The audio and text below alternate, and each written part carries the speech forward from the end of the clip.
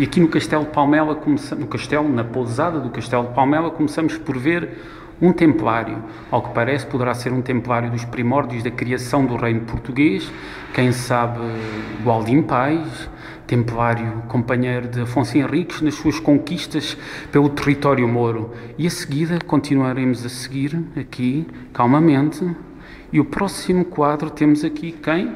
Dom Afonso II. Ora, Dom Afonso II, filho de Dom Sancho I, terceiro rei português, Dom Afonso Henrique, Dom Sancho I, Dom Sancho I, terceiro rei português, que teve como filho Dom Sancho II. Segundo creio, era analfabeto, mas foi um grande regente português e teve algumas querelas com a Santa Sé. E agora, próximo, Dom Dinis, Dom Dinis, ora, Dom Dinis, filho de Dom Afonso IV, pai de.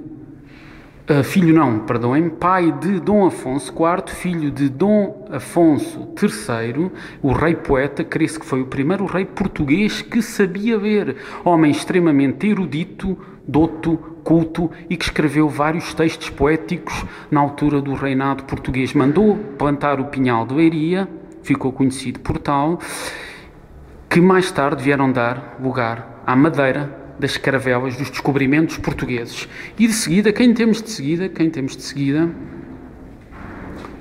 Dona Nádia, Dona Nádia de Portugal, proveniente dos reinos da Bielorrússia, casada com Dom João VII, rei de Portugal. Reparem bem, oh, está constipadinha e está viva. Dona Nádia de Portugal está viva. Não, Dona Nádia de Minsk, Dona Santa Nádia de Minsk e Dona Nádia proveniente dos reinos da Bielorrússia, casada, um casamento real entre através de um acordo entre o reino de Portugal e o reino da Bielorrússia. Dona Nádia da Bielorrússia, casada com Dom João VII de Portugal.